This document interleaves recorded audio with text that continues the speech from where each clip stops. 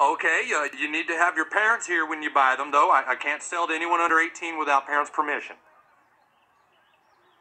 Parents? Parents? Okay.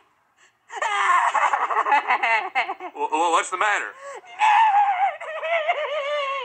We're brothers, see, and our parents died in a car accident last year. Why?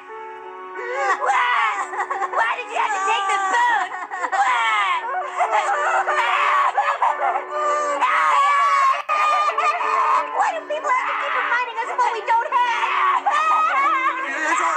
Boys. Don't cry. I'll, I'll just go pack these up for you, okay? God damn, that's like the 12th time that's worked.